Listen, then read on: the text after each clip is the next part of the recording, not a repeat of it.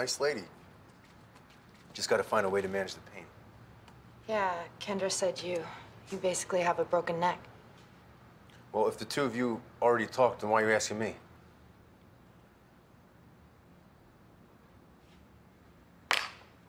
I get that surgery. There's follow-up exams. There's paperwork involved.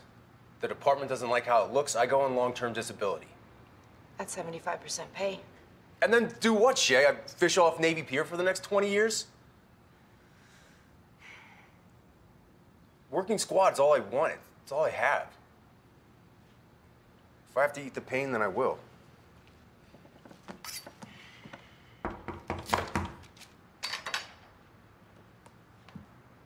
Who's that? Hey, remember me? I do. Nikki's engaged. Besides, it uh, looks like you're already having your fun there.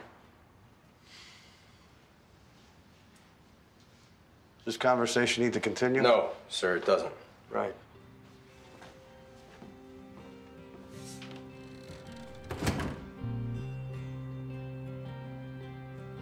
There you have it.